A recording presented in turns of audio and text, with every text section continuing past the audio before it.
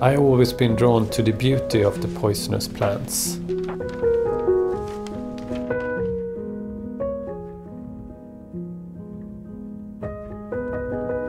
Scary and fun. It's so interesting how the plants have been used in traditional folklore medicine.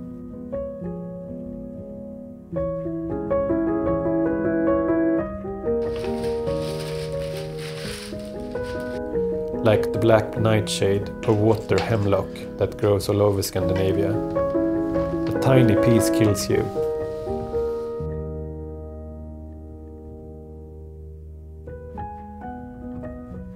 Hemlock plants growing in dark places are much more toxic than specimens growing in sunlight.